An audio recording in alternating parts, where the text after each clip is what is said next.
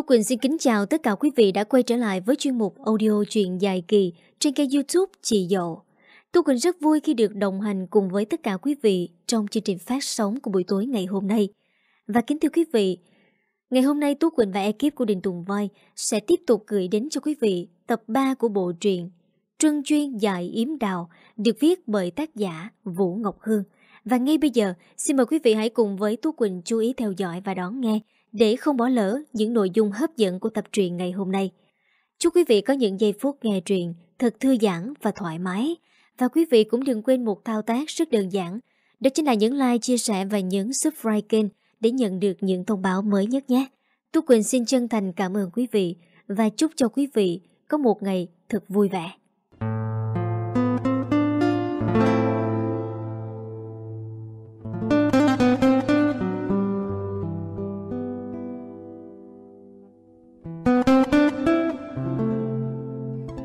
Người ta có câu, Lắm muối tối nằm không?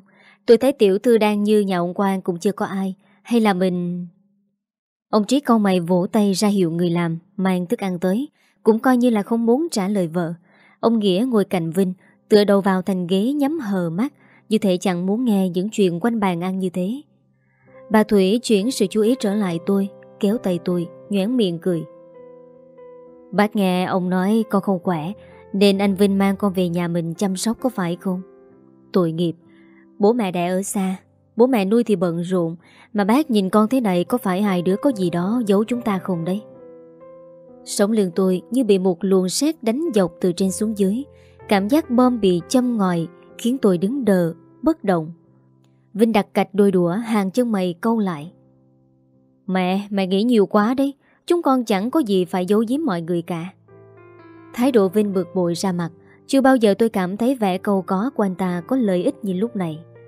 Ngoài nổ của quả bom dường như bị dập tắt, Ngay sau câu nói của Vinh, Ngồi cạnh anh ta tôi chỉ dám nén tiếng thở vào nhẹ nhõm. Bà Thủy không dám nói những lời tộc mạch thêm, Chỉ vui vẻ kể những chuyện xoay quanh chuyến nghỉ dưỡng của hai vợ chồng bà. Bữa ăn rôm rã, nhưng cứ có gì đó gượng gạo, Không thoải mái. Vẻ rôm rã đến từ bà Thủy. Người còn lại đều giữ thái độ dè chừng. Bà ta nhìn tôi tò mò hỏi. Mẹ nuôi của con, Để con làm chủ việc đầu tư với công ty Minh Thái, phải không Vi? Nghe chú Tín nói thế mà muốn hỏi con cho rõ.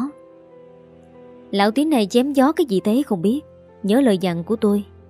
Tôi cười lắc đầu. Dạ ba mẹ nuôi chỉ đối xử tốt với con về tình cảm thôi. Còn về những mặt khác, Con không có liên quan gì với trường tình cả. Ồ, Thế là chỉ nhận con nuôi trên danh nghĩa thôi á?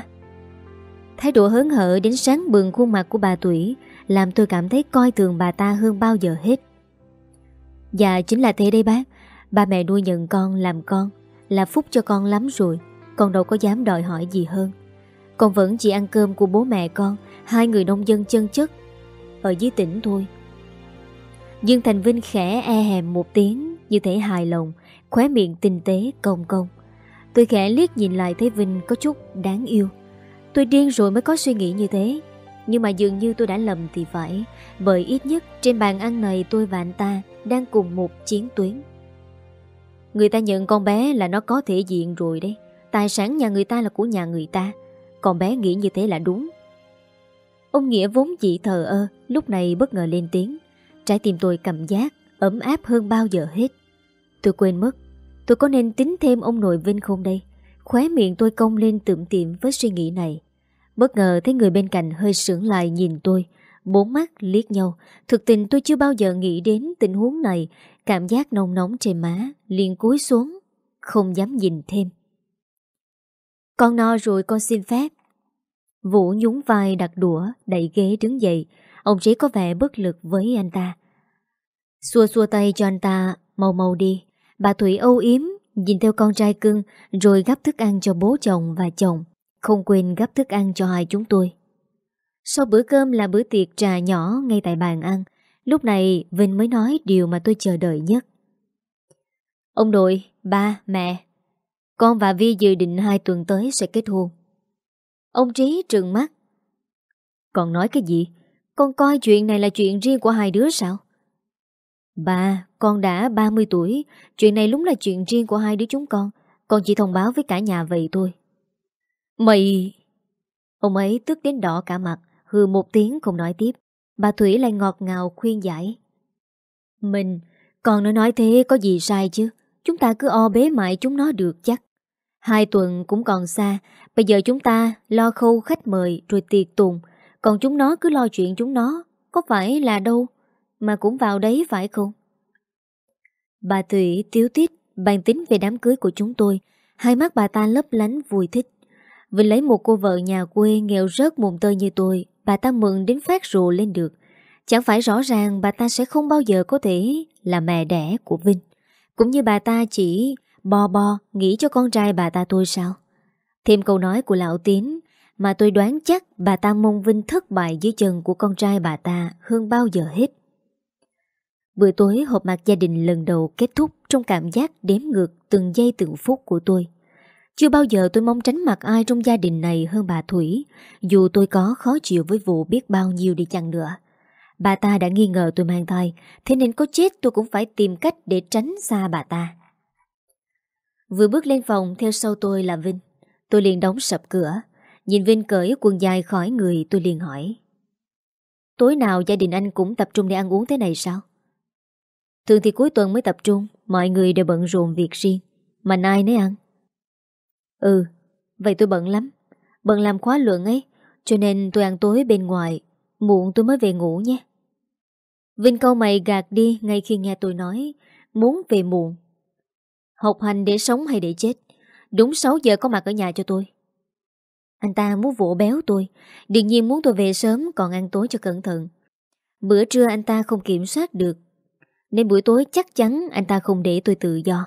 Nghĩ đến vẻ soi mói của bà Thủy, tôi thở dài và nói. Mà tôi cảm thấy không hợp với mẹ anh. Chúng ta cũng chẳng yêu thương gì nhau, càng tiếp xúc với gia đình, tôi càng dễ bị lộ. Thế nên tôi ngại. Vinh hiểu chuyện hơn, anh ta gật cù bảo. Cô cứ lên phòng đi. Bác Hồng sẽ mang cơm vào cho cô. Cảm thấy dễ thở hơn một chút, nhưng tôi lại tò mò mà hỏi. Thế còn anh?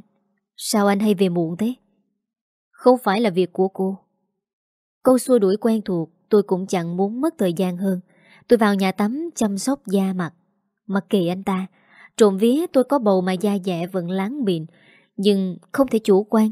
Có thể chưa đến lúc tôi gặp vấn đề về da liễu, thế nên tôi quyết định giữ gìn vẻ bề ngoài hơn bằng các loại mỹ phẩm dưỡng da an toàn cho thai nhi. Đêm thứ ba chung giường với Vinh tại ngôi nhà này trôi qua theo một cách thức khác. Tối qua Vinh không rời nhà, anh ta sang thư phòng làm việc đến khuya thì về phòng nằm quay lưng với tôi. Mắt mở ra, tôi bỗng giật mình khi khuôn mặt đẹp trai đến nghẹt thở của anh ta đã áp sát vào mặt tôi. Đàn ông gì mà da trắng như cục thạch cao, nét nào ra nét đấy như phẫu thuật thẩm mỹ. Đẹp trai thật đấy, cơ mà đẹp trai như thiên sứ nhưng tính cách thì như ác quỷ, không thể trong mặt mà bắt hình dông. Ngắm trai đẹp thì cũng đừng có nhìn chầm chầm đến mất ngủ cả đêm thế chứ. Khóe miệng điệu dạ nhét lên, Vinh mở mắt trúng lúc tôi chăm chú, ngắm nhìn sống mùi tặng tắp của anh ta. Tôi nóng sang mặt mũi, biểu môi khống chế.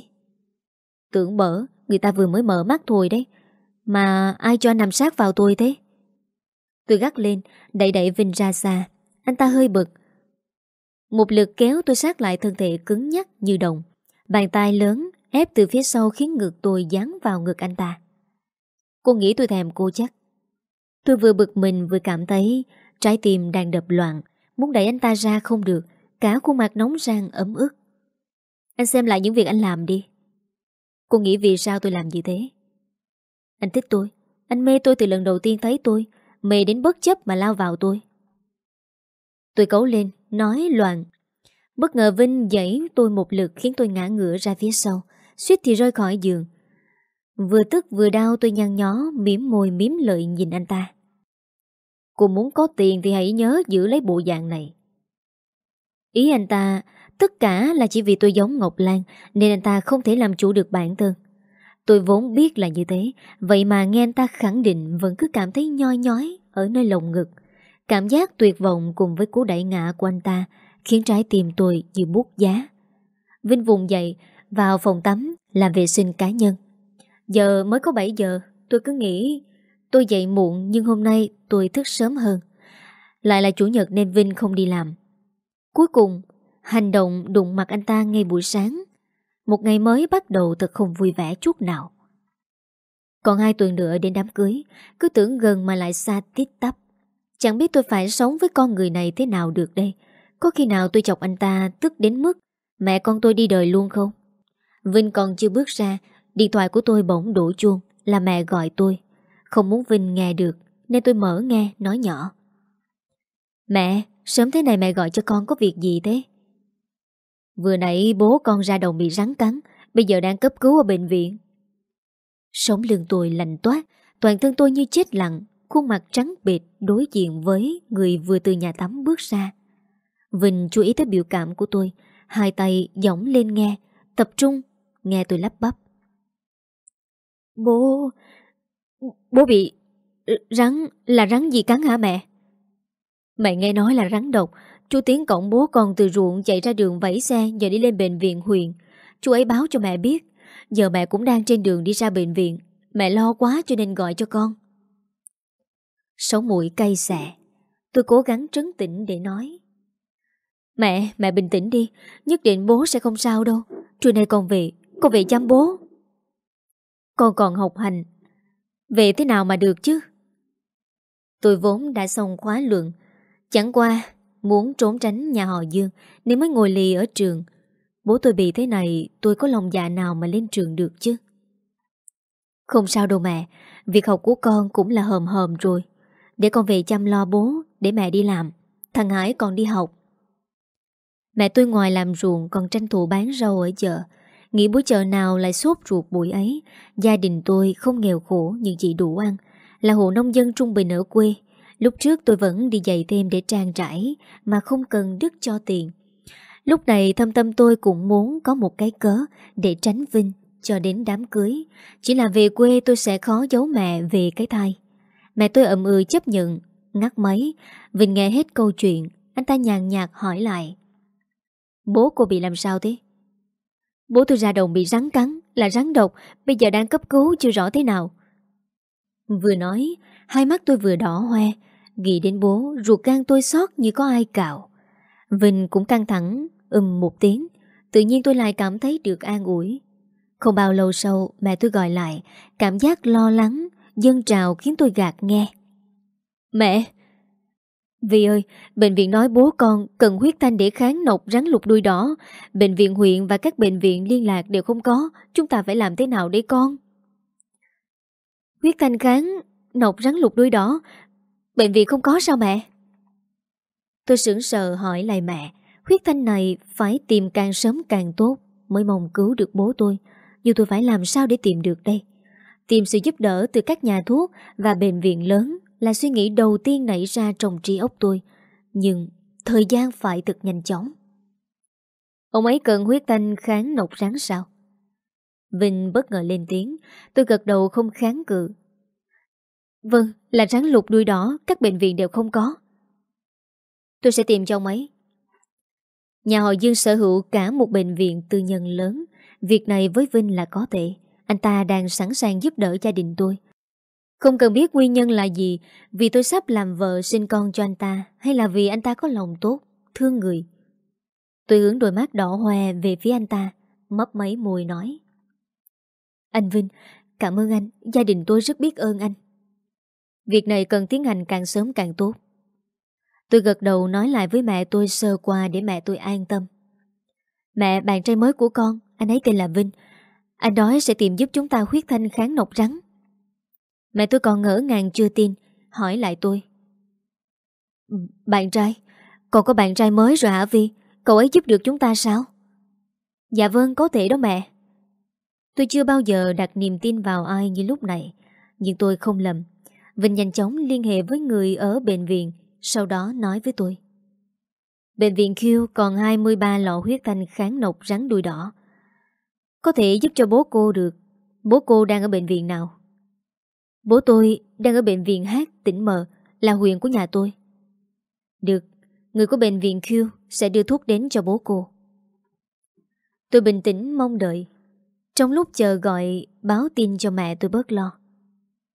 Một tiếng sau Mẹ tôi gọi điện lại cho tôi Âm giọng vừa mừng rỡ vừa đầy nước mắt Vi, bố con được cứu rồi. Bệnh viện báo có người đưa huyết thanh tới kịp thời. Bây giờ bố con đang được truyền huyết thanh. Tiên lượng khỏi hoàn toàn của bố con là rất cao. Bạn trai con, cậu Vinh ấy chính là ân nhân của gia đình chúng ta. Con hãy thay bố mẹ gửi lời cảm ơn đến cậu ấy. Cũng phải đối xử với cậu ấy thật tốt, có nghe chưa? Dạ được. Mẹ không ngừng cảm ơn Vinh. Còn tôi, trong lòng tôi vừa là cảm giác biết ơn anh ta, lại vừa triểu nặng đến tức ngực. Lúc này Dương Thành Vinh đã là ân nhân của tôi. Là cả gia đình của tôi. Vậy mà tôi lại chuẩn bị lừa anh ta một vố đau đớn nhất cuộc đời này. Mà có lẽ khi anh ta biết được chuyện, anh ta có thể phát điên đến nổ tung, sẽ hận tôi đến muốn giết chết tôi. Tôi không biết cảm giác chính xác của tôi là như thế nào, chỉ biết khó chịu vô cùng. Tôi đã rất căm ghét Vinh, đã cảm thấy việc anh ta bị lừa là đáng kiếp. Từ giây phút anh ta lao vào tôi mà cưỡng bức, vậy mà lúc này tôi thực sự rối loạn. Vinh bước trở lại phòng, nhìn tôi ngồi ngẩn trên giường, anh ta câu mày hỏi. Người bệnh của bệnh viện Q báo cho tôi đã hoàn thành nhiệm vụ. Bố cô thế nào rồi? Tôi gạt nước mắt, chớm mi, ngẩn mặt nhìn anh ta, miệng cười trả lời chẳng hiểu sao nước mắt lại lăn dài. Bố tôi hiện tại đang được truyền huyết thanh, các bác sĩ tiên lượng tốt. Dương Thành Vinh, anh là ân nhân của chúng tôi. Vinh lắc nhẹ đầu, hai mắt trâu lại nhìn tôi, gạt dòng nước mắt vừa rơi. Không cần cảm ơn, xin cho tôi một đứa con giống Lan là được. Anh ta nhàn nhạt khẳng định mục đích, cũng không muốn ghi nợ gì với tôi cả, chỉ nhắc nhở tôi. Ngoài tiền bạc, anh ta có thể cho tôi, thì việc anh ta vừa giúp gia đình tôi chính là sự trao đổi. Tôi nhắm hai mắt, rùng mình một lượt. Mở mắt ra, nhìn Vinh bước ra khỏi cửa phòng. Anh ta không quên nói lại. Cô ăn sáng đi, bỏ bữa thì chết với tôi đấy. Con người này lúc nào cũng chỉ có Ngọc Lan, một đời anh ta hướng về chị ấy, chưa bao giờ khác. Nhưng về phần tôi, tôi vẫn cần ghi nhớ tình hình ngày hôm nay của Vinh. Chỉ là so sánh giữa đứa con trong bụng của tôi với ân tình của anh ta. Tiếc là tôi vẫn chọn vế đầu tiên. Coi như hôm nay tôi nợ anh ta một mạng. Tôi có thể trả ơn cho anh ta theo cách anh ta muốn. Nhưng phải sau khi con tôi bình an chào đời. Mà điều này tôi không biết Vinh có chịu chấp nhận hay không.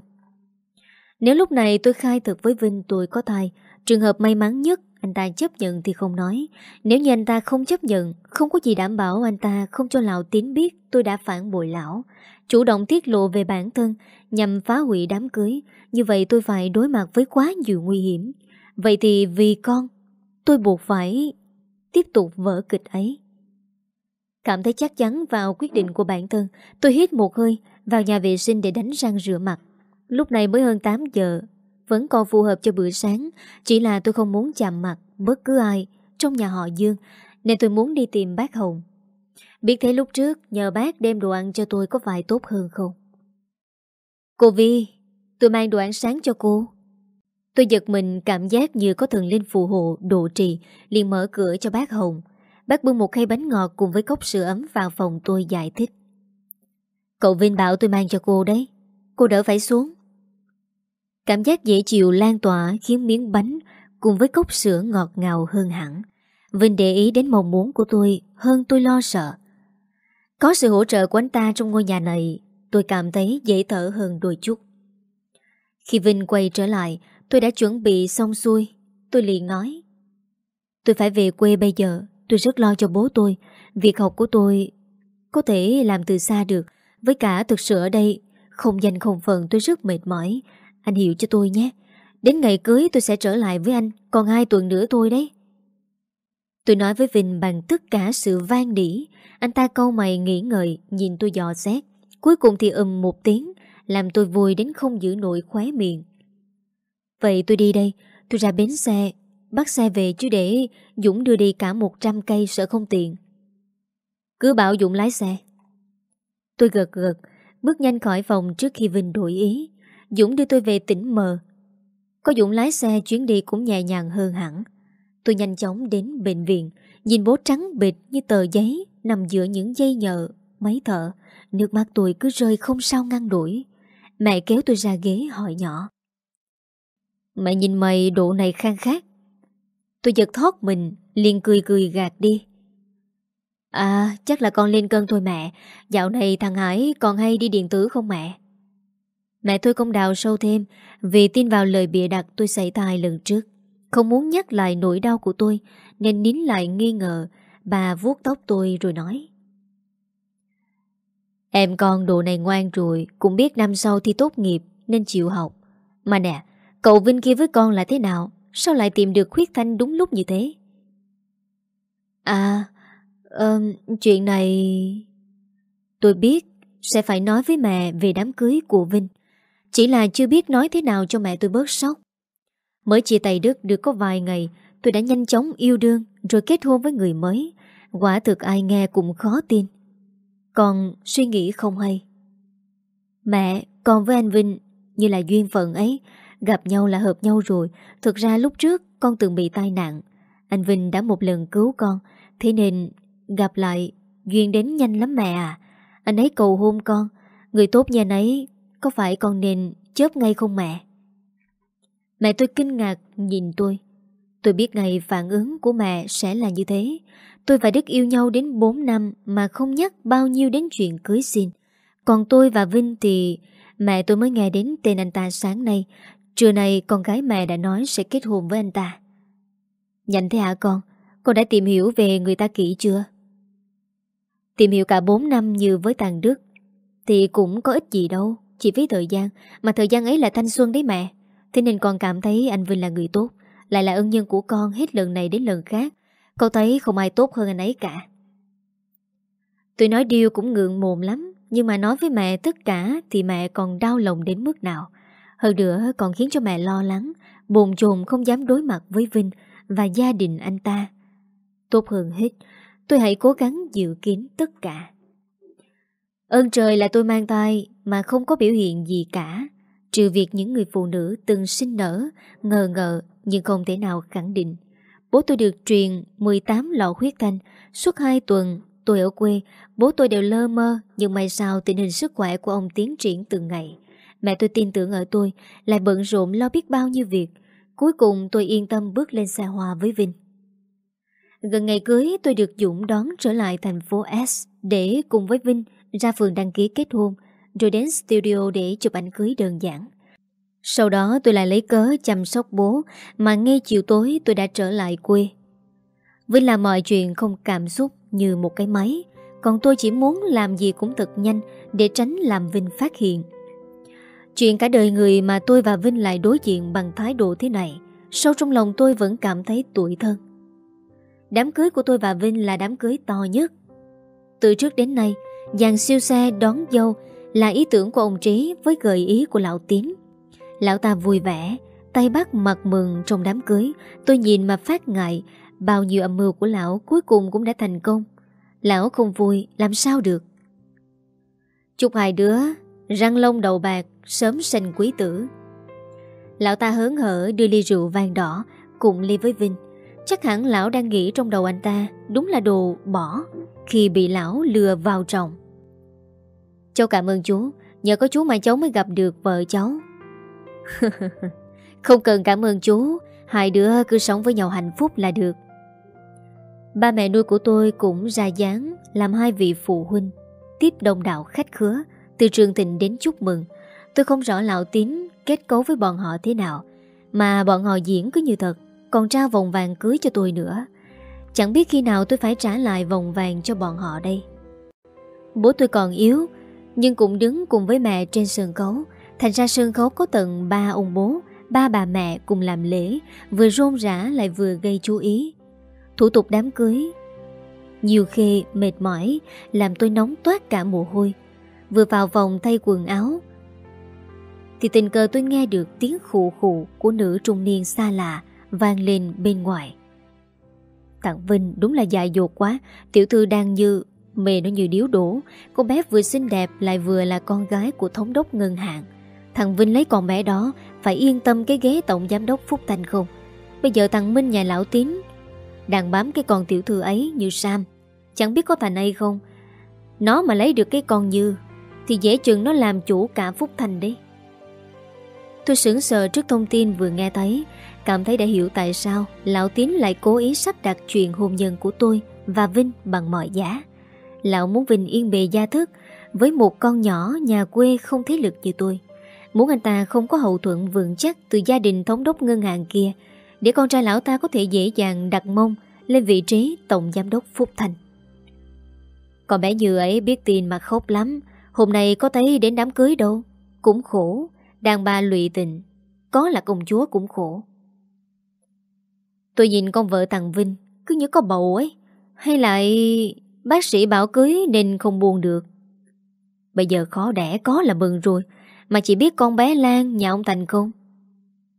Tôi biết đó từ bé, Công nhận con vợ thằng Vinh, Bây giờ giống nó thật đấy. Nhưng mà cái Lan đi đâu thế? Còn bé ấy mất rồi, Mất bên Mỹ. Ngày xưa nó với thằng Vinh suýt thì cưới nhau, Cuối cùng lại bị tai nạn mất. Thầy bảo con bé lúc mang tay Đau chưa? Tôi khường lại, Cơ thể như bất động. Đau, chắc chắn là đau đến tê tâm liệt phế Đau đến tột cùng Mới khiến Vinh phát điên. Mới khiến cho anh ta mong muốn có một đứa con giống Lan Đến bất chấp tất cả như thế. Hai người phụ nữ kia nói thêm vài câu Về chuyện đám cưới rồi đi ra. Để lại sau cánh cửa phòng thay đồ Là tôi lúc này Biết bao nhiêu luồng suy nghĩ, Bao nhiêu dòng cảm xúc hỗn loạn trong đầu, Khiến tôi cứ đứng lặng lặng trong phòng Tôi giật mình khi nghe thấy tiếng gõ cửa ở bên ngoài. Cô ngủ trong đấy sao? Âm giọng dục dạ của Vinh vang lên.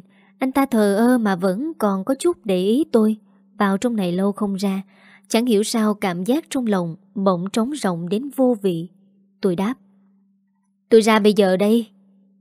Tôi trả lại váy áo cô dâu lùm xùm cho studio. Trên người là bộ váy Satan đuôi cá gọn gàng. Lái xe hoa, đưa tôi và Vinh về nhà họ Dương. Bên cạnh tôi, Vinh tĩnh lặng nhắm hờ đôi mắt. Lưng ngã ra phía ghế, trong đầu anh ta nghĩ gì tôi hoàn toàn không biết. Trong thân phận vợ của Dương Thành Vinh, tôi đường hoàng bước vào ngôi biệt thự xa hoa trước mặt. Vinh đi sau tôi, tưởng chừng gần tôi trong gan tức, mà trái tim anh ta lại cách xa tôi ngàn dặm. Nhưng tôi có thể đòi hỏi cái gì, tôi đã đạt được điều mình cần. Ván đã đóng thuyền, lão tín cũng không cần làm khó tôi nữa. Chỉ là cảm giác nặng nề cứ bám theo tôi kể từ lúc tôi biết Lan mang theo đứa con của chị ấy và Vinh rời xa anh ta mãi mãi. Vừa bước vào phòng ngủ, tiếng sập cửa phía sau làm tôi giật thoát tim. Hơi thở phản mùi rượu, Vinh tiến tới, bế bổng tôi lên tiến về phía giường. Anh ta đã chờ đợi giây phút này suốt bao nhiêu ngày, giờ chính là lúc không còn gì có thể ngăn cản. Vinh say hơn tôi nghĩ, anh ta mơ màng Móc mấy miệng trong lúc hùm khắp cơ mặt của tôi. Trái tim tôi bớt giác, Nhói lên đầu bút Hàng mây nhíu chặt, Tôi lắc đầu đẩy đẩy Vinh ra khỏi người mình. Tôi biết mình không đúng, Nhưng từ lúc nào chỉ cần nghĩ đến việc Vinh luôn coi tôi là Ngọc Lan Mà bày tỏ lòng yêu thương, Tôi khó chịu đến nặng triệu lòng ngực. Anh Vinh, tôi không phải Lan, Tôi là Vi. Tôi cứng giọng thức tỉnh Vinh hơn bao giờ hết tôi đã không cần phải sợ hãi người đàn ông này nữa. Kể từ giờ phút này Vinh muốn đánh, muốn chửi, muốn đuổi tôi đi. Tôi đều chấp nhận. Tôi là kẻ sai, sai hoàn toàn khi từ lúc bắt đầu. Tôi tiếp cận anh, giả dạng Ngọc Lan để khơi gợi tình yêu trong anh nhằm đoạt được mục đích của tôi. Mục đích của tôi đã đạt được, tôi lại không thể tiếp tục đóng vai Lan ở bên anh. Vinh như giật mình thoát khỏi cơn mộng mị, anh kéo cổ áo sơ mi của chú rể, Cởi vài cúc áo cho bớt nóng, Nằm ngửa ra giường thở hỗn hỉnh Bất giác, Những giọt nước mắt lăn dài qua khóe mắt. Vinh đang khóc. Khuôn mặt đẹp trai nhăn nhúm, Đỏ lượng đầy khốn khổ.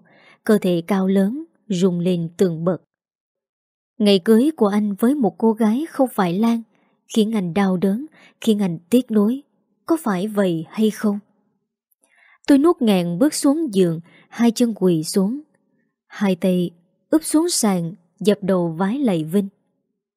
Anh Vinh, Tôi mong anh hãy bình tĩnh nghe tôi nói. Tôi không muốn và không thể lừa dối anh một giây một phút nào nữa. Vinh có chút trấn tĩnh. Anh lau nước mắt, ngồi dậy. Dường như anh không hiểu tôi đang làm gì, Hoặc là anh cho rằng Anh đã biết tôi khốn nạn thế nào. Âm giọng bằng giọng mũi, Anh gắt. Cô làm cái trò gì thế? Tôi cưới cô là quyết định của tôi không phải là vì trò lừa bịp của cô. Nước mắt tôi bắt đầu lăn dài, Tôi gạt đi, Dập đầu thêm một lần nữa, Rồi mới ngẩng lên đối mặt với Vinh. Tôi Tôi đang mang thai ở tuần thứ 9 Vinh sững sờ lặng người đi.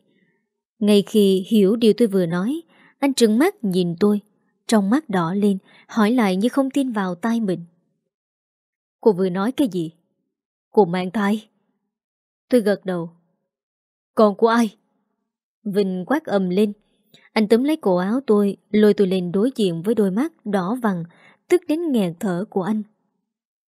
Không phải con của anh. Tôi hỏi cô nó là con ai? Đó không phải là điều quan trọng. Tôi xin lỗi. Tôi xin lỗi vì đã giấu anh. Tôi nhắm mắt Chờ đợi một cái tác Một cú đá hay một cái đập từ Vinh Nhất định tôi sẽ không thể chống trả. Nhưng không anh chỉ hừ một tiếng, Kéo một lực làm tôi ngã vật ra giường. Ngay sau đó, Anh bước nhanh khỏi phòng, Cánh cửa đập vào tường, Uỳnh một tiếng, Làm tôi rùng mình, Gai ốc nổi rần rần. Tôi đã tưởng tượng giây phút này từ rất lâu, Chỉ không ngờ khi nó đến tôi lại sợ hãi, Lại đau lòng đến như vậy. Tôi nói ra tất cả với Vinh, Đơn giản vì tôi không muốn lừa dối anh thêm nữa.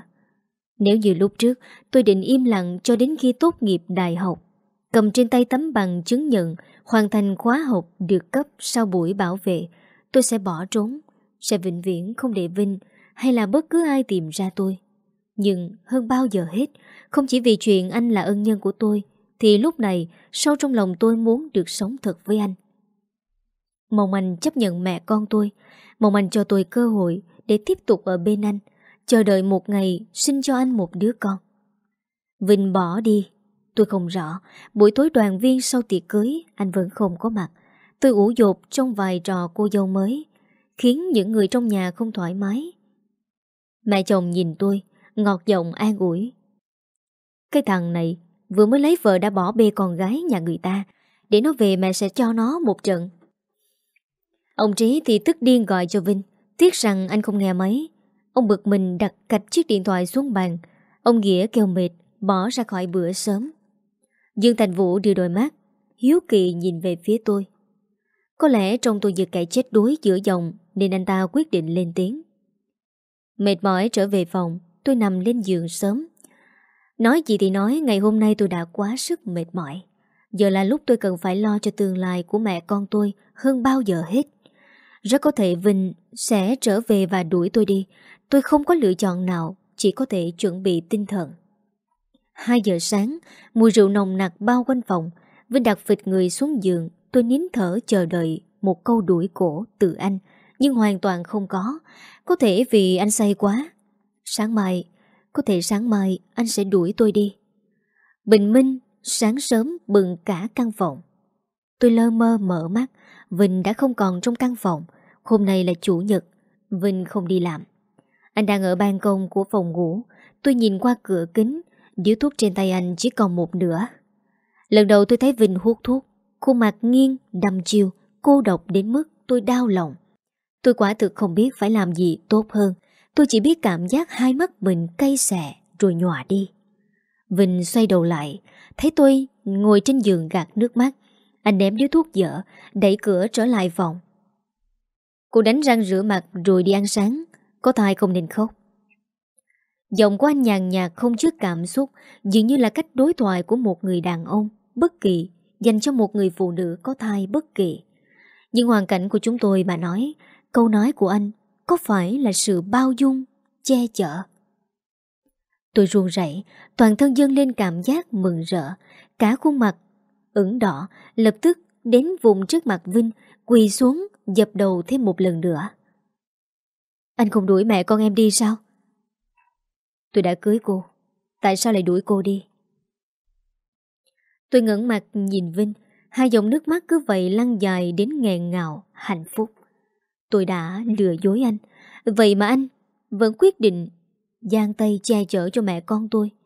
Suốt cuộc đời này tôi sẽ không bao giờ quên đi Giây phút tôi được anh tha thứ. Em không có lựa chọn nào khác. Em mong anh hãy thứ lỗi. Em thật lòng không muốn lừa dối anh nếu có lúc nào anh cảm thấy hối hận Anh cứ đuổi em đi Em sẽ không oán trách anh lấy một lời nào cả Tôi chỉ cần cô sinh cho tôi một đứa con thuộc về tôi. Tôi hy vọng cô giữ lời. Vinh nhắm lại đôi mắt mệt mỏi. Anh khẽ thở hát ra một hơi. Nơi khóe mắt, mở ra, nhìn thẳng vào tôi như chờ đợi. Tôi gật đầu, cảm giác da mặt nóng rang. Tôi đáp. Vâng, bao giờ đứa bé trong bụng em sinh ra, đủ cứng cáp, em sẽ... Được rồi, bây giờ cô lo giữ sức khỏe mà sinh con đi. Vinh khẽ lắc đầu bước vào nhà tắm. Để đến với quyết định bao dung này, chắc hẳn anh đã phải chấp nhận nhượng bộ rất nhiều. Nếu tôi không có cái thai trong bụng, mong muốn của anh sẽ sớm được thực hiện. Vậy mà cuối cùng thời gian chờ đợi phải kéo dài thêm quá lâu, thậm chí rủi ro cũng quá lớn. Đứa con trong bụng sẽ lấy đi thời gian, sức lực, thậm chí là cả tính mạng của tôi. Vinh không còn ở nhà, tôi cũng quyết định lên trường cho khuây quả. Chúng tôi không có trăng mực vì Vinh rất bận rộn.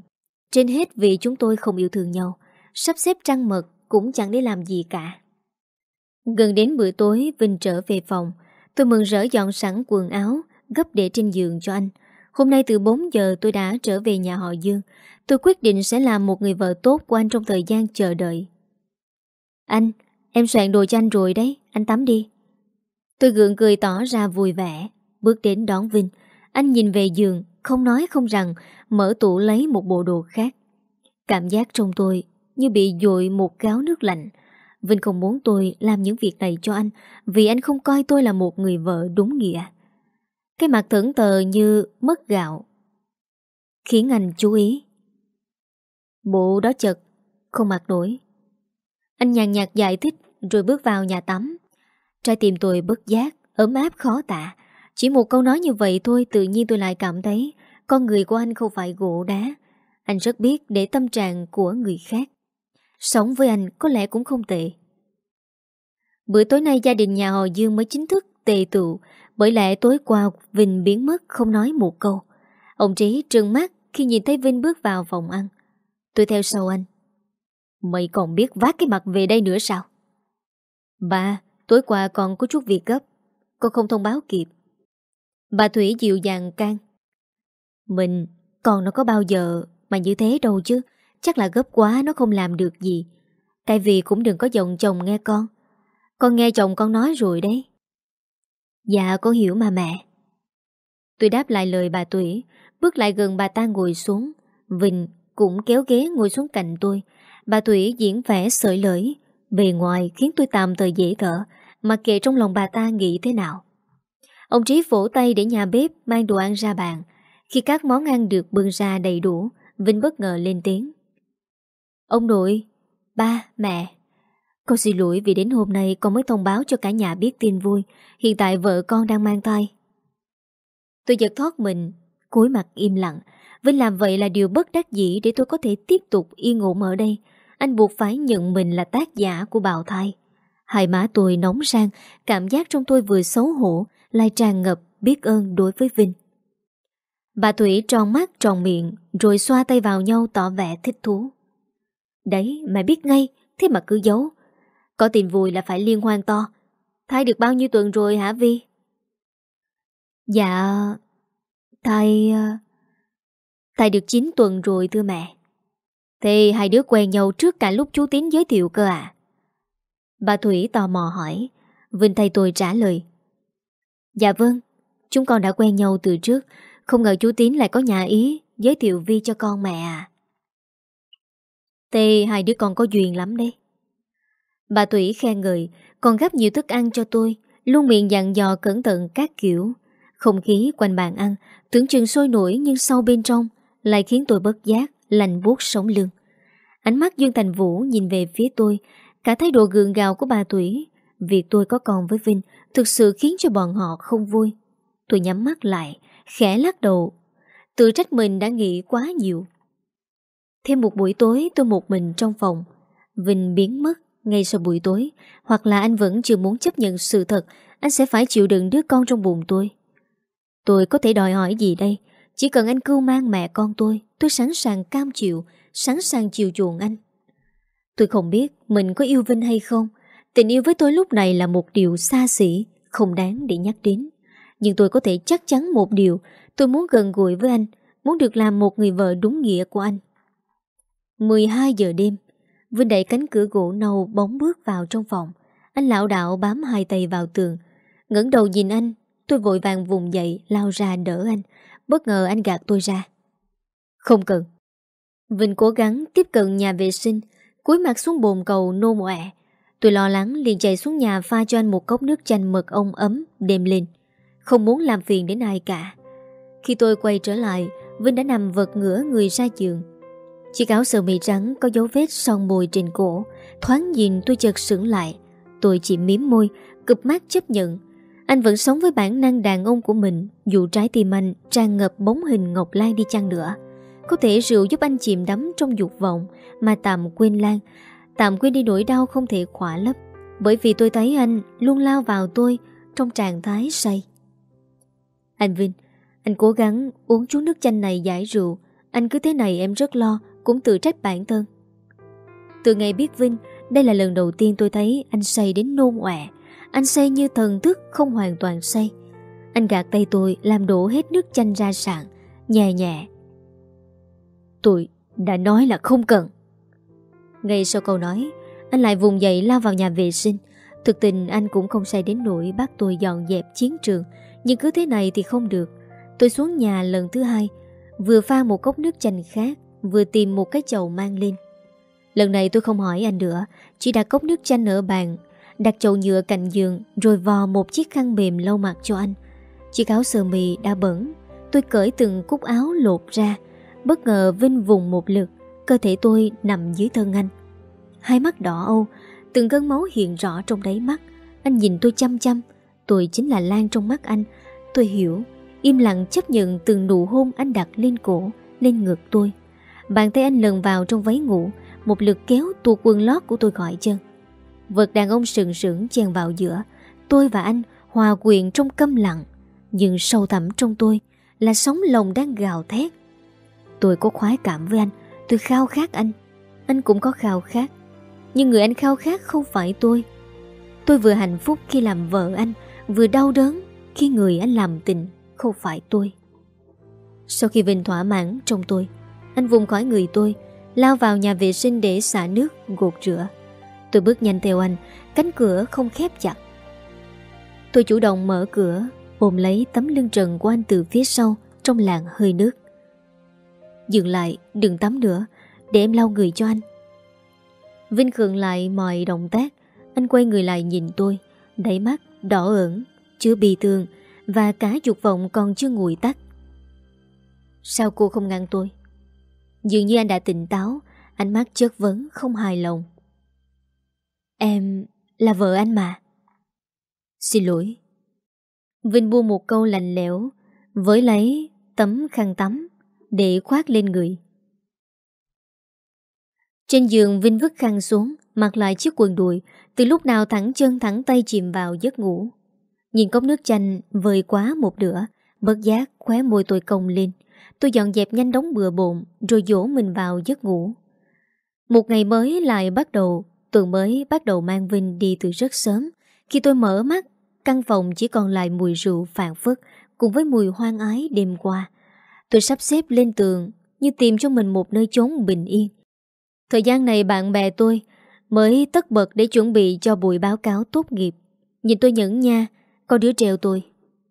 Có ai sướng bằng mày không Vi? Vừa lấy được anh sói cà trồng mờ, Lại vừa hoàn thành khóa luận.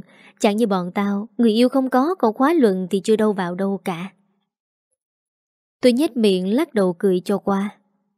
Hôm đám cưới tôi có mời mấy người bạn thân đến dự. Trước khi tôi yêu Đức, bọn nó đều biết.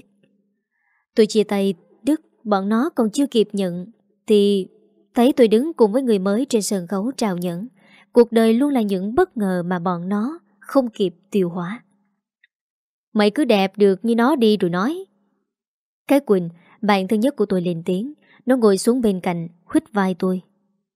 Cuộc sống trong mơ mà sao Nhìn mày cứ như bị tống xuống địa ngục thế? À Chắc dạo này tao hơi mất ngủ. Quỳnh nó biểu môi treo chọc Nó nhỏ vào trong tay tôi. Ông Đức đúng hôm mày cưới Thì lên trường tìm mày đấy. Trưa hôm đấy tao chuẩn bị đi ăn cưới thì gặp lão. Chẳng lẽ tao lại bảo lão Mày đang đi làm đám cưới với người khác? Tôi đã sớm tay số điện thoại. Khi thoát khỏi mối quan hệ với Đức Chuyện Đức cắm sừng tôi thế nào Tôi đã cho Quỳnh biết. Nhưng chuyện tôi mang tài với Đức Thì tôi không thể chia sẻ. Mày nói, mày nói gì thế? Tôi có chút lo lắng hỏi Quỳnh, Trong lòng cũng tin tưởng ở nó. Tao bảo là mày bận lắm, không tiếp được. Lão lườm tao, Rách cả mắt rồi biến mất. Tôi gật đầu bảo, Cảm ơn mày. Tao mệt lắm, Bây giờ gặp lão chắc tao trốn. Mày việc gì phải trốn? Bây giờ phải que. Mày lấy hẳn đại gia đẹp trai, Chủ nhân tập đoàn Phúc Thành chứ. Nó biết, Lại phức tạp ra. Chồng tao hay ghen lắm. Xong câu chuyện với Quỳnh, tôi biết, Trường học giờ không phải là nơi an toàn với tôi, Vì nơi đây Đức có thể tìm ra tôi. Cứ nghĩ mọi chuyện đã kết thúc, Chẳng hiểu hắn nghĩ cái gì mà lại đến tìm tôi thế không biết. Tôi bực mình thu dọn đồ đạc, Nhìn đồng hồ mới có 3 giờ chiều, Nhưng dù sao tôi cũng không nên ở đây thêm nữa. Quỳnh ngạc nhiên hỏi tôi, Mày về hả Vi? Ừ Tao nhớ ra có việc, Mấy ngày nữa có thể tao cũng không lên trường, Mày đi ăn một mình nhé. Thôi tao về đây. Tôi khoát túi sách lên vai, Bấm số điện thoại của Dũng nhờ anh ta đến đón, Đứng chờ Dũng ở hàng cây trước cổng trường. Tôi giật thoát tim Khi Đức bước xuống từ chiếc xe hơi của gia đình anh ta, Có lái xe ngồi bên trong. Vi, Em chờ ai thế? Chờ anh hả? Tôi trừng mắt, Lùi về phía sau gắt lên. Anh tìm tôi làm gì? Chúng ta kết thúc rồi. Bây giờ tôi cũng đã lấy chồng, Không còn là con Vi ngày xưa nữa. Đức sững sờ há hốc mồm, Hắn không ngờ tôi nhanh chóng lấy chồng như thế. Hai mắt đỏ lòm, Hắn ôm lấy vai tôi nói, Em bảo sao? Em đùa với anh à? Mới có mấy tuần còn chưa đầy một tháng, Anh không tin. Anh tin hay không, sự thật vẫn là như thế. Buông tôi ra. Anh có muốn chồng tôi cho anh một trận không hả? Vì anh không thể, Anh không thể quên được em. Anh nhớ em đến mất ăn mất ngủ. Anh xin lỗi. Vì chúng ta làm lại từ đầu đi em. Đức ôm choàng lấy tôi Tôi vùng vàng muốn thoát khỏi Đức Nhưng hai tay của hắn cứng ngắt như gồng kìm. Hắn kéo tôi ra xe hơi nhà hắn Khi tôi muốn thoát ra. Anh điên rồi buông tôi ra Có ai không? Nguyên một cú đấm Bất ngờ dán xuống má Đức Khiến cho hắn loạn choạng ngã ra giường.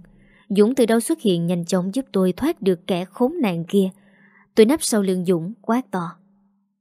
Anh cút đi Đừng để tôi báo cảnh sát Đức lao vết máu trên miệng gượng dậy, Nhìn bộ dạng hung ác của Dũng, Hắn không rét mà run, Không dám đánh lại, Chỉ nhét miệng. Chồng em đây à Vi? Tưởng thế nào? Anh thấy tiếc cho em quá. Dũng có một khuôn mặt sẹo, Cơ thể cao lớn toát ra vẻ hung hãn, Khiến Đức vừa sợ hãi vừa coi thường. Tôi không thèm trả lời Đức, Mà kệ hắn muốn hiểu thế nào thì tùy. Dũng giờ nắm đấm ra dọa nạt. Đức lừa mắt lùi người rồi chạy xe về. Lái xe nhà hắn coi cọc. Không phải là vệ sĩ, Nhìn Dũng thôi cũng đủ tè ra quần, Nên không dám rời khỏi xe để bảo vệ hắn. Anh Dũng, Cảm ơn anh đã ra tay đúng lúc. Cô an toàn là tốt rồi, Lên xe tôi Ngồi trên xe, Trái tim tôi vẫn còn đập thình thịch Khi nghĩ đến chuyện vừa xảy ra. Tôi ghê sợ ý đồ quay lại của Đức. Hắn là kẻ khốn kiếp nếu biết tôi mang tài con của hắn, Chắc chắn tôi sẽ không yên được với hắn. Thậm chí hắn còn rêu rao khắp nơi, Làm ảnh hưởng đến uy tín, Hình ảnh của Vinh cũng như của Phúc Thành. Tại sao hắn không buông tay cho tôi đi? Hắn hành hạ tôi như thế còn chưa đủ hay sao? Cảm giác ấm ức Khiến hai mắt tôi cay xẻ Chỉ biết xoa lấy bụng như trấn an bản thân. Con chỉ là của riêng tôi, Chắc chắn không bao giờ tôi để con nhận kẻ khốn nạn như hắn làm cha. Tôi tự trách mình ngày xưa quá tin tưởng ở hắn mà không nghe lời khuyên của cái Quỳnh. Ngày đó Quỳnh khuyên tôi cẩn thận vì cái tính yêu đương, năm ngày ba bận thay người yêu của Đức trước khi đến với tôi. Vậy mà tôi quá tự tin vào sức hấp dẫn của mình với Đức, quá tin vào những chiều chuộng, ngọt ngào của hắn, để rồi kết cục phải hứng chịu khốn nạn một đời như thế. Còn kéo thêm cuộc đời khác khổ vì tôi. Nhưng còn đến với tôi là niềm vui, là niềm hạnh phúc. Tôi muốn bù đắp cho con, Bù đắp cả cho người đàn ông Mang danh là chồng mình Bằng tất cả những gì tôi có Dù cho anh không yêu tôi đi chăng nữa Chiều nay về sớm Nghĩ đến bữa cơm tối, Tôi chợt muốn tận tay làm cho Vinh Tôi nhanh chóng thay một bộ quần áo mềm mại Mặc ở nhà, Rồi xuống tầng 1 vào khu bếp Phòng bếp cạnh phòng ăn là một gian phòng rộng lớn. Có một chiếc bàn gỗ lớn để nhiều thực phẩm tươi trên đó. Bếp có một đầu bếp chính, ba người bếp phụ kiêm giúp việc cho ngôi biệt thự này, thường quanh quẩn ở đó. Bác Hùng là một trong ba người phụ bếp. Hai người còn lại là hai phụ bếp nữ, tầm tuổi 40. Đầu bếp chính là một người phụ nữ, tầm tuổi 50, béo tốt, tươi tắn. Tầm này còn sớm, nhóm người giúp việc tản mát, lau dọn nhà cửa, chỉ có cô đầu bếp tên Huệ đang sắp sửa đồ ăn trên bàn. Thấy tôi bước vào, cô ấy vui vẻ nói. Cô Vi, hôm nay cô về sớm thế, có bầu rồi không nghỉ ngơi đi lại xuống đây. Thông tin tôi mang tay đã được người làm truyền tay nhau nhanh chóng. Tôi hơi ngại nhưng cũng cảm thấy là may mắn. Hôm nay bác Hồng đi chợ có mua cá chép, bảo tôi nấu canh riêng cho cô. Tối nay cô ăn nhé. Tôi hơi sững người, cảm thấy bác Hồng rất biết quan tâm đến tôi. Tôi vâng dạ, khẽ hỏi. Bình thường, anh Vinh thích ăn món gì vậy cô? Cậu Vinh thì dễ tính, ăn gì cũng được, nhưng mà cậu ấy đặc biệt thích món măng tươi. Măng tươi không tốt, nên tôi cũng hạn chế, thỉnh thoảng mới làm. Mà cứ làm là biết thế nào cậu ấy cũng thích ăn. Tôi gật đầu ghi nhớ, sở thích của anh cũng dễ chịu. Chỉ cần để ý một chút, cô Huệ chợt nói nhỏ. Tôi nghe mọi người nói cô giống cô Lan. Hôm nay nhìn gần tôi mới công nhận. Cô không giận khi tôi nói như thế chứ. Tôi giận hay không thì cũng chẳng có gì khác. Sự thật là sự thật, chính vì giống nhau đến kỳ lạ mà tôi mới có mặt ở đây. Tôi đã hỏi bố mẹ tôi vu vơ về một cô gái trông cực kỳ giống tôi, nhưng bố mẹ tôi chẳng quan tâm gì cả. Xem ra chỉ đơn giản là người giống như sự kỳ diệu của tạo hóa. Mỉm cười tôi đáp lời cô Huệ. Cháu không giận đâu, cũng vì giống chị Lan mà anh Vinh mới chọn cháu. Lúc trước chị Lan có hay đến đây chơi không cô? Cũng chỉ tỉnh thoảng. Tôi nói cô giống cô Lan, Là chỉ ở vẻ bên ngoài tôi. Cô ấy với cậu Vinh thế nào tôi không rõ, Nhưng mà cô ấy chưa bao giờ vào bếp như cô thế này. Cô mới về đây có mấy ngày Mà thấy cô vào đây. Tôi bất ngờ đấy. Tôi cười nói, Có thể chị ấy là người yêu thì khác vợ cô à Con gái cũng phải giữ giá mà. Hơn nữa người ta là tiểu thư, Không có như cháu. Âm giọng của tôi có chút ngầm ngùi.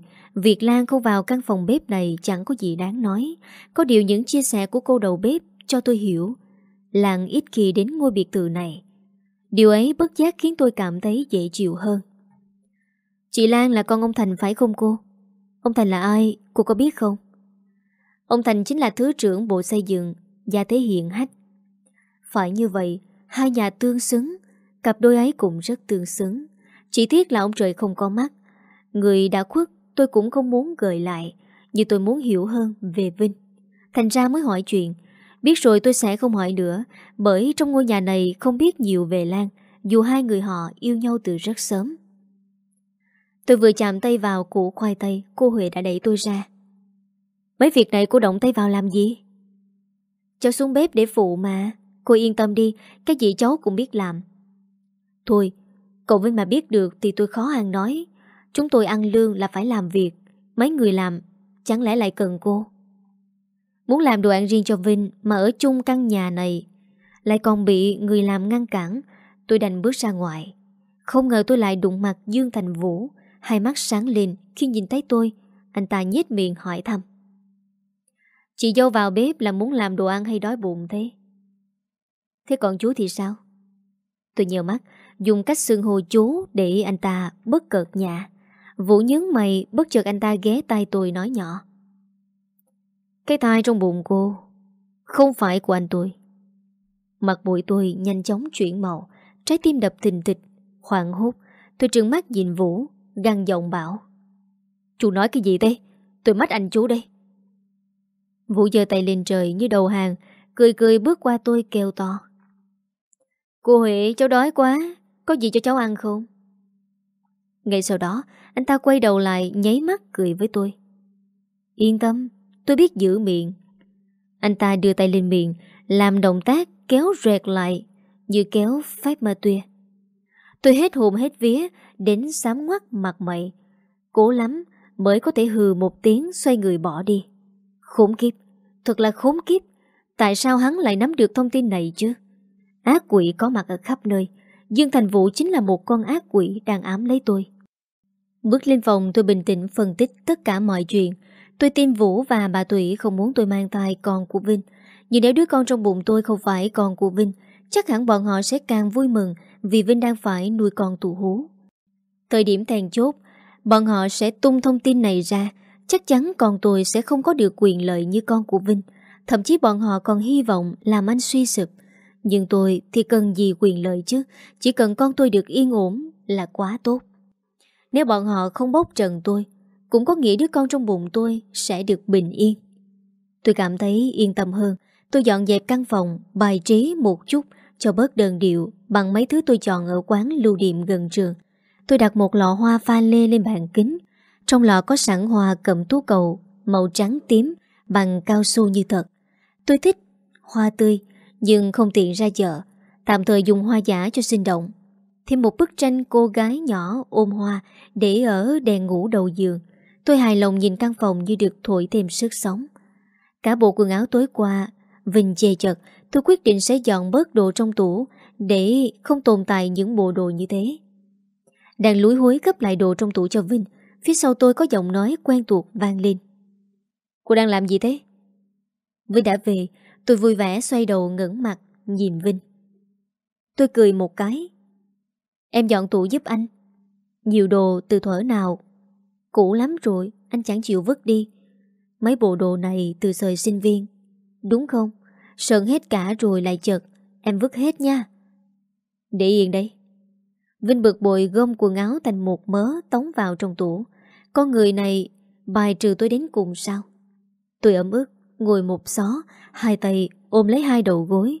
Tôi có giận dỗi thì với anh cũng chẳng có ý nghĩa, nhưng tôi vẫn cứ không thể diễn là vui vẻ chấp nhận được. Những bộ này Lan mua cho tôi. Tôi nghẹn ngào bất giác hai mắt cay xẻ. Thì ra anh không cho tôi vứt đi, tất cả đều là vì Lan. Kỷ niệm của anh là những thứ quý giá nhất. Anh thà để cái tủ như đóng dẻ rách, chứ nhất quyết. Không vứt đi, dù chỉ một chút. À, em hiểu rồi, em vô ý quá. Tôi gạt nước mắt chấp nhận. Tôi cần nhớ bản thân không có bất cứ quyền gì, kể cả ghen tuông cũng không thể. Nhưng chẳng lẽ tôi lại đi ghen với một người đã chết? Thật ngớ ngẩn. Trấn tĩnh trở lại tôi mỉm môi. Hỏi Vinh. Hôm nay anh đi làm có mệt không? Vinh gật nhẹ, nhìn lọ hoa cùng với bức tranh là hai vật lạ mới xâm nhập trong phòng. Anh hơi trao mày, may mà anh không nói, cho phép chúng ở đó. Tôi nín thở chờ đợi rồi tả lỏng, cảm thấy ít nhất thứ mình tạo ra nơi này cũng được anh chấp nhận. Cậu Vinh, có người mang nội thất đến. Tôi có chút ngạc nhiên nhìn Vinh, anh bước ra ngoài mở cửa, trả lời bác Hồng. Bác bảo họ mang vào đây giúp cháu nhé. Một lúc sau thì hai người thợ khẽ khiêng lên một bàn gương trang điểm bằng gỗ sồi mới toanh để trong phòng ngủ. Tôi tròn mắt, cảm tưởng như luồng gió thổi qua làm dòng suối trong lòng lại reo lên, róc rách. Thực tình muốn cười to, cho thỏa, cố lắm mới trấn tĩnh được mà nói với người đàn ông mang danh chồng đang đứng quan sát thờ lắp đặt. Anh... anh mua cho em sao? Không lẽ tôi dùng? Tôi phì cười chủ động nắm lấy tay anh, ngước nhìn anh bằng đôi mắt lấp lánh. Em rất thích, cảm ơn chồng. Vinh có chút không thoải mái, anh giật tay, nhưng chỉ cần việc anh làm cho tôi thế này là đủ khiến tôi hạnh phúc đến ruộng lên. Định mua trước hôm cưới nhưng quên mất. Vinh nhàn nhạt dội cho tôi một gáo nước lạnh để tôi tỉnh ra, nhưng tôi mặc kệ. Ít nhất anh cũng có sự chuẩn bị cho tôi ở cùng với anh. Trước hay sau đám cưới cũng được, tôi cười hì hì, chờ hai người thợ rời đi, liền ngồi xuống trước gương ngắm nghía. Đẹp thế, bàn rộng thế này để bao nhiêu đồ trang điểm tùy thích, còn có cả ngăn kéo. Ơ, có cả khóa ở dưới để giữ vàng bạc châu báu. Có tiếng cười rất nhẹ, Vinh biểu môi. Không cần phải thảo mai thế đâu. Mà vàng cưới từ trường thịnh cô giấu đâu rồi? Có phải trả lại không thế?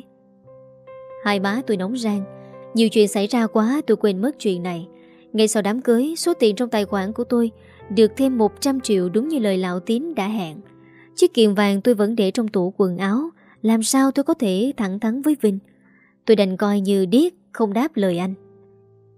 Bữa tối nay, bà ngăn chỉ có ông Nghĩa, Vinh và tôi. Ba mẹ chồng tôi cùng với Vũ không có mặt khiến tôi thoải mái. Cảm giác bát canh cá chép ngon miệng hơn hẳn. Sau bữa tối, Vinh cùng với tôi trở về phòng. Vinh bước sau tôi, thái độ của anh lãnh đạm như mọi lúc. Anh tối nay đừng có uống rượu nữa được không? Tôi quay lại, hướng ánh mắt vang nại nhìn Vinh. Cầu xin anh đừng tự hành hạ bản thân. Uống như vậy đủ rồi đấy. Vinh nhàn nhạt đáp mà lòng tôi nhẹ nhõm. Ý anh là chán nản đủ rồi. Cuộc sống vẫn phải tiếp tục. Cảm giác chua xót dấy lên, sống mũi tôi chợt cay xè. Tôi gật nhẹ, nuốt nghẹn một ngụm nước bọt. Anh thích ăn măng tươi phải không? Ở quê em có núi, hôm nào về quê, em dẫn anh đi đào măng nhé. Tôi vui vẻ gợi ý, Vinh chỉ ưm nhẹ một tiếng rồi bước ra khỏi phòng. Đoán là sang thư phòng, tôi nghĩ mấy giây liền xuống nhà pha một cốc trà sâm ấm dễ ngủ, rồi tìm thư phòng gõ cửa. Anh Vinh, ở trong này à, em vào được không? Tôi vừa hỏi vừa chủ động đẩy cửa Vinh đang tập trung vào màn hình laptop Xung quanh anh là những giá sách bày gọn ghẽ Trên giá có rất nhiều sách Tôi há miệng nhìn quan cảnh thư phòng Nhất thời quên mất cả cốc trà trên tay. Cô vào đây làm gì? À, em pha trà cho anh uống dễ ngủ. Em đoán là cả ngày hôm nay Anh rất mệt đúng chứ? Vinh không đáp Cụp mắt xuống nhìn laptop. Hai má tôi bất giác nóng rang Nhớ lại những chuyện đêm qua. Tôi để cốc trà cạnh anh Còn chủ động kéo một chiếc ghế ngồi xuống cạnh anh. Dù sao tôi và anh cũng đang là vợ chồng còn cả một chuỗi ngày chung sống phía trước. Tôi nghĩ mình cũng nên thúc đẩy tình cảm với anh. Mà người ta có câu, Thứ nhất, Cự ly. Cô rảnh quá nhỉ? Anh không quay sang, Chỉ nhếch miệng hỏi, Hiểu là một lời đuổi khéo. Tôi nóng mặt cười đáp, Em ngồi một lát rồi sẽ đi. Cứ ngồi đi. Tôi hơi sững lại trước câu nói của Vinh. Nhất thời tôi không biết phải nghĩ sao. Chỉ nghe tiếng trái tim đập thình thịch trong lồng ngực. Còn một câu hỏi mà cô vẫn chưa trả lời tôi. Cái thai trong bụng cô là con của ai? Tại sao cô không cho nó có cha? Vinh vẫn gõ lạch cạch máy tính, Bất ngờ anh lên tiếng. Anh rất quan tâm điều này, Nhưng tôi lại coi thường mà không trả lời anh. Có lẽ biết được nguồn gốc cái tai Khiến anh cảm thấy yên tâm hơn về tôi. Hay là cô biết nó là con ai? Vinh vẫn còn nhìn tôi bằng thái độ hàng học. Và coi thường vô cùng Tôi lắc đầu nhẹ giọng bảo. Nó là con bạn trai cũ của em Hắn là một kẻ khốn kiếp. Em yêu hắn suốt 4 năm Cứ nghĩ cả đời này chỉ yêu hắn và lấy hắn. Vậy mà hắn đã cắm cho em một rổ sừng đấy. Tôi căm hờn kể lại Cảm giác đau đớn làm nước mắt không kiềm chế nổi, khẽ gạt đi dòng nước ấm nóng trên má. Cô hận hắn như vậy, tại sao còn giữ con hắn? Vinh có suy nghĩ như bất kỳ ai nhìn vào câu chuyện của tôi. Chỉ là từ lúc biết con có mặt trong tôi, tôi chưa bao giờ có suy nghĩ sẽ bỏ con. Con xuất hiện, trước hết là mong muốn của em. Là em cố tình mang nó đến, em chỉ tiếc, đã nhìn nhầm về cha nó, nhưng con em không có tội Em hạnh phúc khi biết em có con Hạnh phúc khi mỗi ngày một lớn lên Trong em Cha nó muốn cướp nó khỏi em cho nên Nên cô lừa tôi. Vinh hừ một tiếng Sau trong lòng anh vẫn rất giận tôi. Tại sao cô không nói thật với tôi? Vì Muốn làm vợ anh Nếu nói thật với anh Em không biết anh có chấp nhận em không? Cả khuôn mặt ướt đỏ đành lại Vinh không đáp, có thể chính anh cũng không biết phải trả lời thế nào. Quãng thời gian dài phía trước phải chịu đựng mẹ con tôi, khiến anh bực bội. Đừng mong tôi sẽ bảo vệ nó. Vinh hừ nhạt, hàng mày câu lại. Anh cho rằng tôi muốn lừa lấy anh để mong bảo vệ con tôi. Anh nghĩ vậy, suy cho cùng cũng là đúng. Tôi gật đầu hờ hững. Đúng là em cần kết hôn với anh, để bảo vệ con của em. Nhưng em chỉ cần danh phận đó thôi. Em chưa từng mong anh ra tay bảo vệ nó Cô hiểu là tốt Bây giờ ra ngoài cho tôi làm việc Vinh thẳng thắn Xua đuổi tôi Tôi cũng muốn ở gần Nhưng anh lại không muốn tôi ở đó Anh đối với tôi chưa bao giờ có tình cảm Ngoài việc tôi giống Lan Ngoài việc anh cần một đứa con ở tôi Nhưng tôi hy vọng gì ở anh đây Hy vọng gì Mà lúc này tự nhiên lại cảm thấy tức ngực, nước mắt cứ rơi trong cảm giác bẻ bàng, cô độc. Con người anh sát đá vô cùng, trái tim cũng bằng đá. Một cục đá lạnh lẽo, khắc tên Hoàng Ngọc Lan mà chẳng ai có thể lay chuyển. Nếu nhanh không như vậy, tôi cũng chẳng có cơ hội nào có thể ở bên anh. Quý vị thân mến, chúng ta vừa lắng nghe xong tập 3 của bộ truyện Trân Chuyên Dạy Yếm Đào được viết bởi tác giả Vũ Ngọc Hương. Xin mời quý vị hãy tiếp tục theo dõi tập 4 của bộ truyện này sẽ được phát sóng vào 19 giờ 45 phút mỗi ngày trên kênh độc truyện Chị Dậu. Còn bây giờ Tú Quỳnh xin phép được nói lời chào tạm biệt và hẹn gặp lại tất cả quý vị trong những chương trình phát sóng tiếp theo. Chúc quý vị một buổi tối ngủ ngon giấc.